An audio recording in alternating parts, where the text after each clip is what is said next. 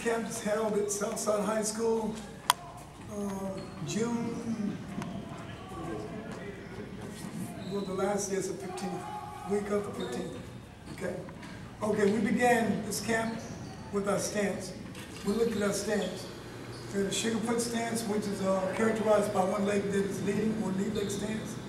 The lead knee is directly over the lead toes, lead shoulders over the lead knee. Notice that my chest, it's not it's not being advertised, it's down. My lead arm blocks the leg, the other arm is back. My chin is up. Notice in particular, my legs open in the direction of the shoulder. It's not twisted. It's not over here. It's here. Got it? Here's our stance. The next stance is a square stance, in which both feet are on the same lateral level. Your knees are over your toes, elbows are in, chin is up. And again, you're not opening your chest. Your chest is down. It? First thing we looked at, well, after that, we looked at level changing. So we're in our stance, and what we're gonna do, we're gonna change our level. Changing level has everything to do with the level of your hips, nothing to do with the level of your shoulders. What I'm doing here, I'm squatting down until my lagging hand touches the mat, and I'm on it. And I'll come up just a little. What I'm trying to do is get the opponent to match my level. If I go down, he goes down, I come up, he comes up. If I change and he does not change, then he is open for a shot. Yeah. That's what level changing is for. We do. With that said, the very first thing we looked at is an ankle single. So I'm in my stance, he's in the stance, and I'm at a distance, whereas if I extend my lead arm, I can barely touch him. And I'm in front of the leg that I'm attacking.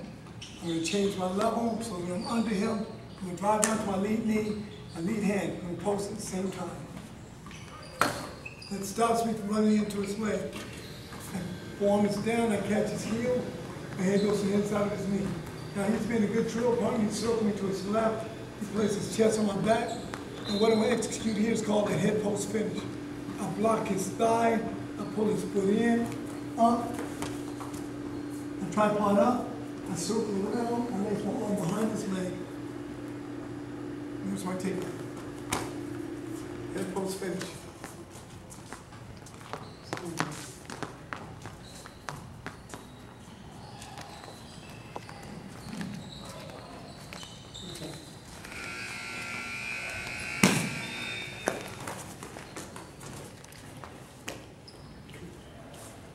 Our next finish off with an ankle single again. We're gonna hit an ankle single, our hand is gonna go behind his leg. We're in deep, we're deep in on the leg, our hand is behind his leg. Once we're in, we're gonna straighten our back up. So now his weight is off of us so we can pick up a knee. If we pick up our right knee, then we circle to the left. Keep the knee up and we look for a double from behind.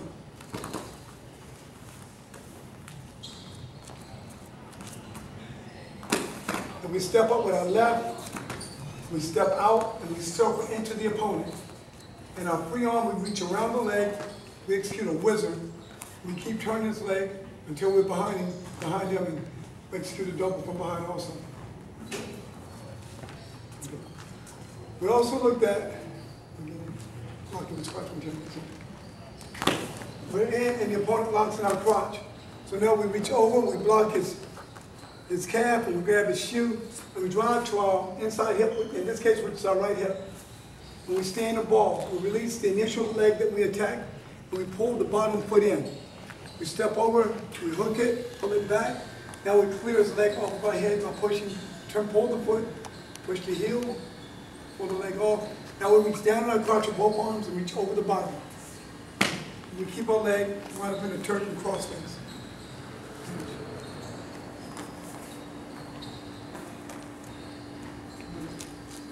We looked at different ways of setting up our ankles. See? One way of setting up an ankle, easiest, we from a tie up, we just snap him down, and his reaction is to come up.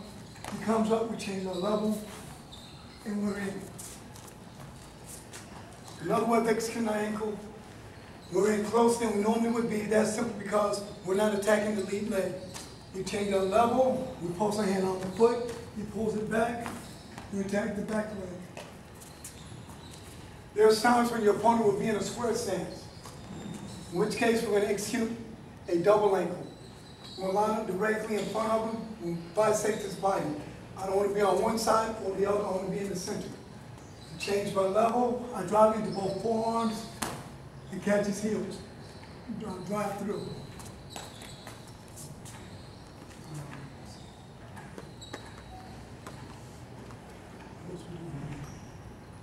Okay, we looked at executing the ankle by setting up his, his, his motion. He's moving, he's just moving. And everyone moves after they stop moving, move with a certain rhythm. He moves, and I predict just where he's gonna be, when he's gonna be there. See, one, two, one, two, one, two. I know there's, when I know he's gonna be at a particular place, I change my level, and I'm in. Here's my shot.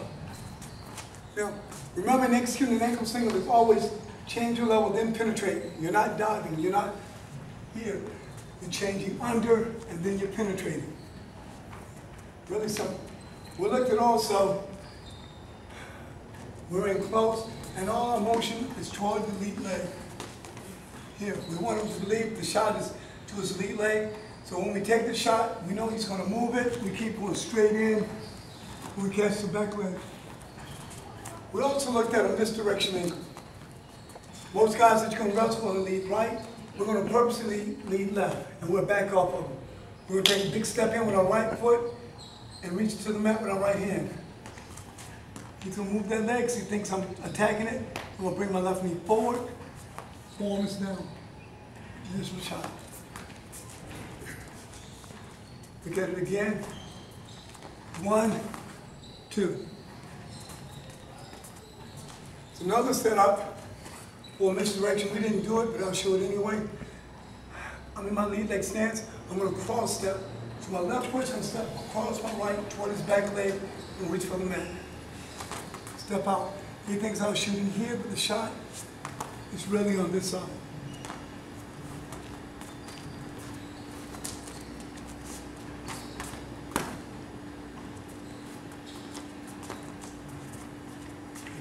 Now, we looked at different setups, and each of those setups are, uh, can be used to execute an ankle single. So we looked at two on ones. Tim take off a two on one. I pull my arm back, he changes level. There's his ankle. Cross ankle. Okay? I'm tied up tight. He passes by, he changes level. There's his ankle. Got it? He grabs my wrist, he drags, go behind the arm drag. The ankle. We use those same setups to execute our ankle single. Let's see. Okay. The next technique we looked at is a high crotch. Okay. High crotch, we looked at the easiest case. Your opponent has a collar tie, you have an elbow tie. Okay. Leaning right, he takes a small step with his lead leg, he changes his level. So he's focusing on pulling the elbow hard, reaching up my crotch. There, and he steps. Now he pivots his foot around. Notice he is not in front of me, he's on my side. Notice his left arm is deep. He's holding my leg with his arm, not with his hand.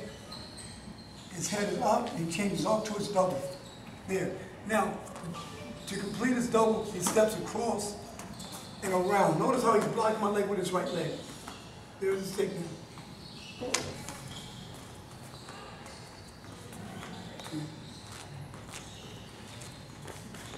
Crotch, crotch double.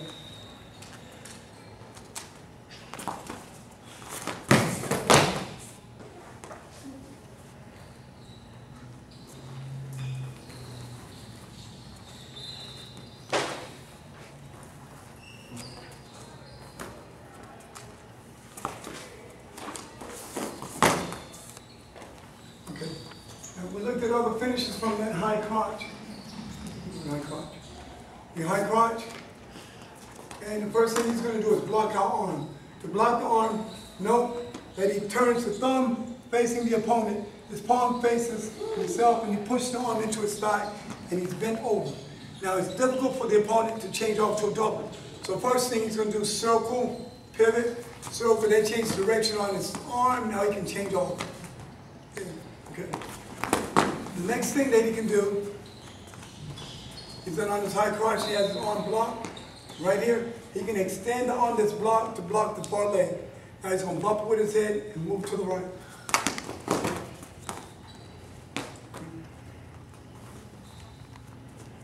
The next thing we looked at doing, the high crotch, he blocks the arm. We're gonna hook his heel with our left ankle. Now from here, we start applying pressure, he starts going back, change off. There you go.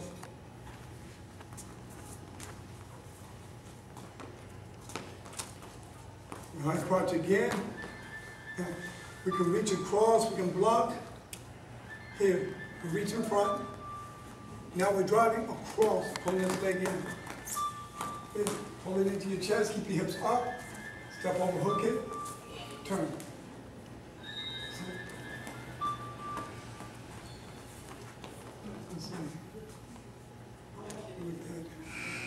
Look at that.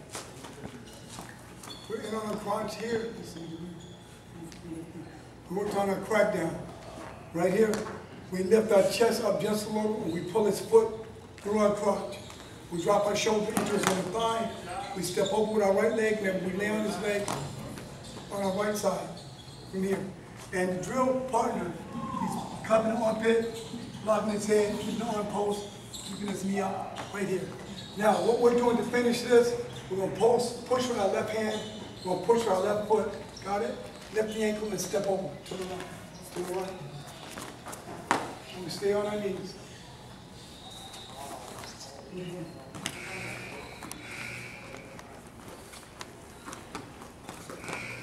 Right now, I'll be on.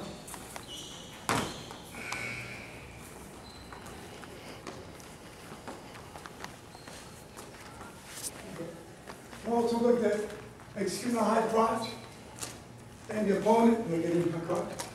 The opponent cross faces and he circles to his left and tries to grab your ankle. Circle, circle.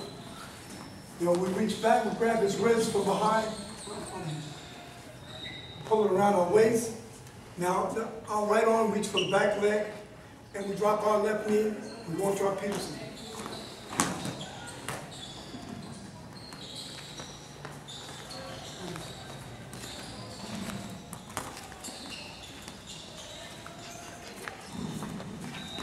Five sit, crossface circle. Got it, one behind. Ankle, there's a Peterson, reach back, grab the hand, pull it around our waist.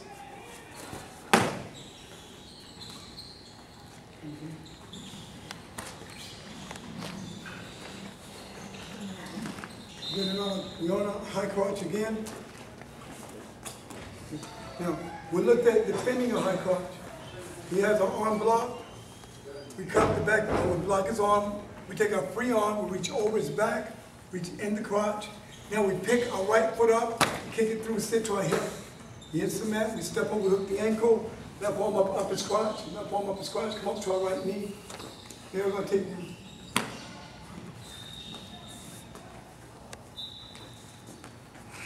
We look at a more efficient method.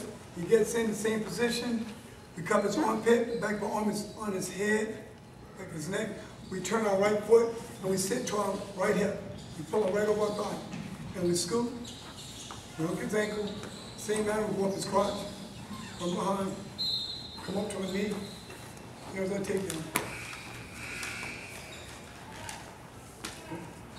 We also look at what happens if you're doing the same thing. Uh, Tim, you should, uh, uh, you should. We block the arm, we sit right here. Now, he's gonna drop his right hip, drop your right hip, and he keeps his knees together, feet apart. There. Now he's gonna push the leg away and back up into the other leg. There, create space. Now he lifts the leg over his head, lifts his head under. Now he turns into it, he turns back to his left. Looks for his double. I don't want.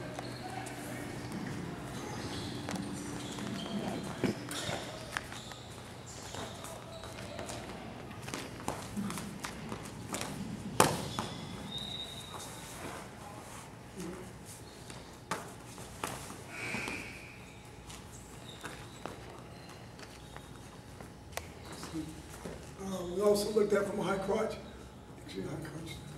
We're on a high crotch. Now, we crack him down, and we reposition our shoulders such that our inside shoulder is right behind his, his knee. So we slide back, our shoulders locked right behind the knee. Notice, no matter what he does, the opponent head will be over our shoulder. We step back with our, with our left leg, step back, reach back, left arm, and drive into it. High leg over, head comes out. There's our cradle.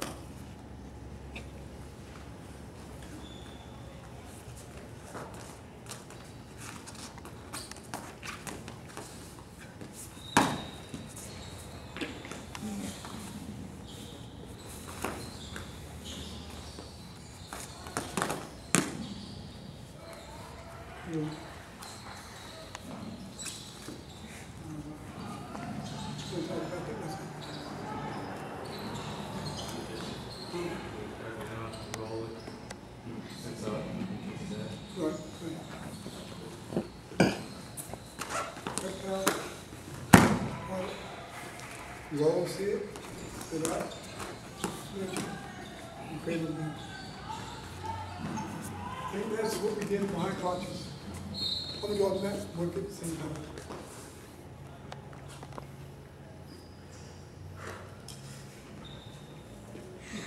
That brings us to arm drags. Okay. First thing, we looked at the most basic case of an arm drag. Thumbs are in, hands are cupped. I reach under his wrist, over, down. Note that my elbows are in. I'm not pulling out. Under, over, down, through. I clear his arm.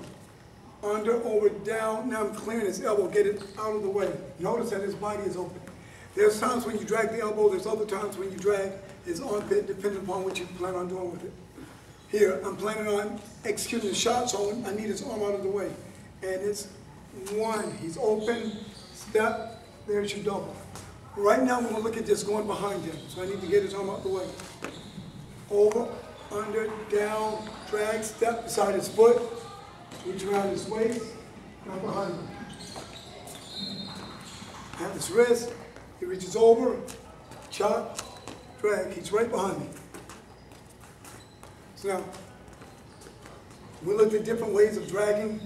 So if I'm controlling his wrist, Tim turns his palm up, he just pulls it down and across. Notice there's no rotation, there's his drag.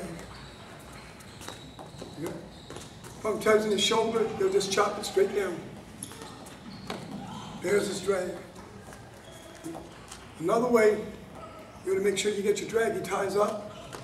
Here you have his elbow, you step in, you grab his knee, you know he's gonna pull it back. And when he does, chop, there's your arm drag again. Okay. So we looked at many ways to arm drag. Now we look, we put the arm drag as a setup to our shot. So we drag, we're just executing a double, no trip. We grab his wrist, we pull it down and across, we drag the elbow, we lower our level, we put our chest in, we drive to our lead knee head. That. There's our double.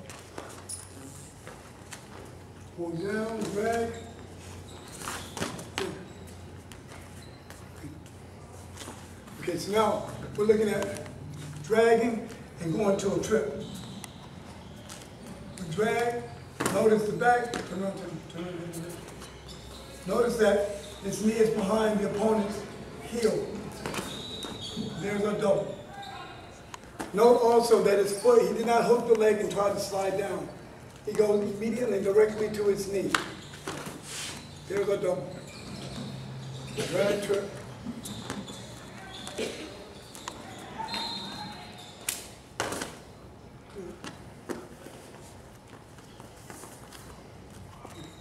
Now from the drag, some guys did it, some did not. But you can drag and get to the other side of his body. I can drag, dip that knee, come in to your high crotch. That's one thing I forgot on the high crotch. We did do one other thing. We did an outside step high crotch. I mean close. So instead of drop stepping, what he's going to do is he's going to drop his right knee and he's going to step with his left foot, but his right knee and left foot will hit at the same time. There. Watch it again. Step, there. And from that, we also looked at one other setup from a high crotch. We looked at an underhook. Snap, underhook with head by there. Hold him down and so He fights to square up. There's our high crotch. Reach from the girl. Okay. You go back to your drags. You drag double. You're drag double. Now we look at different ways of dragging. On me, my right, I'll touch the side of his head, knowing that he wants to grab it. I'm gonna move it. And he grabs it, I was moving way he grabs it. Finally, I'm gonna touch and let it sit there a little longer. He's gonna hold it tight. I'm gonna rotate my palm up, pull it across and down. There's my drag. You're just gonna condition him. He touches, move. Let it sit there, turn your palm up, pull it down, there's your drag.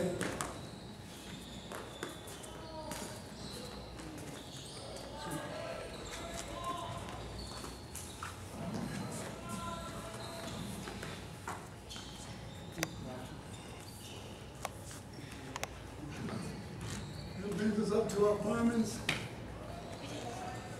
and barrel rolls. Now, fireman's carry is characterized by an inside time. At his armpit, not in his elbow, not his tricep, armpit. Now, we're gonna snap on his head, and he fights to come up. As he does, we step in, we lower our level, we're pulling him us as we penetrate through, shoulder goes all the way through, and as it hit, look him up here, he turns, and he's up off the mat.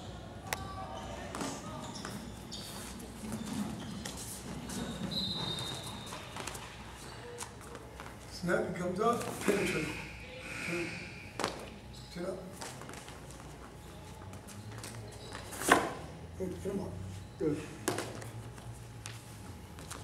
Really simple, simple setup.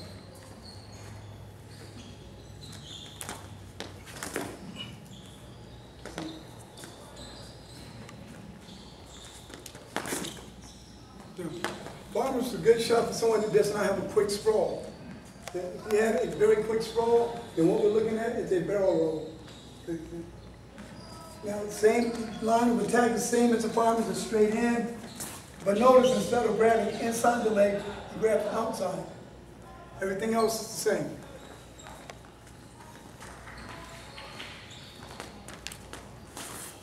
Now, you sit to your hip, and he goes over. What's great about a barrel roll, the faster he sprawls, the easier the shot.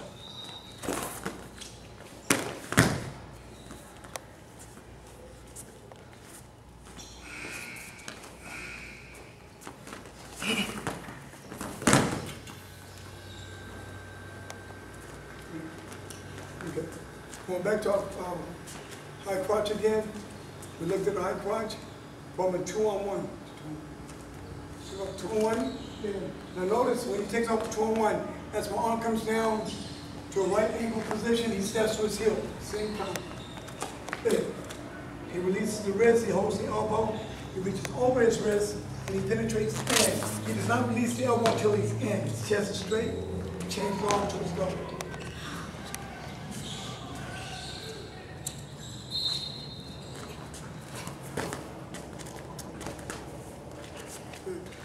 So we looked at high crotch from an underhook, or two on one, an elbow tie. We also looked at high crotch from a pass by. Your opponent has a lot of pressure on your head. You get your feet set. You let your, your body doesn't move, only your head moves. You let your chin drop to your chin, you push your arm straight down, and then you look up. There's your shot.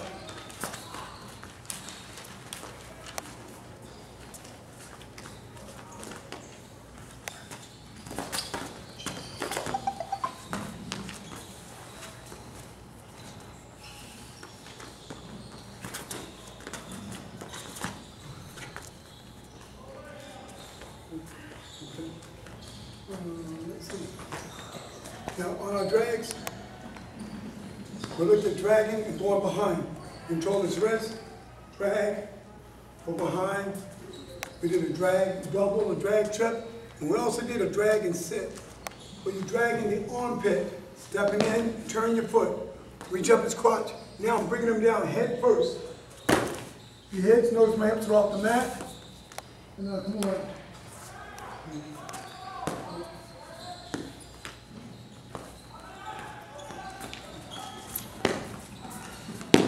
So we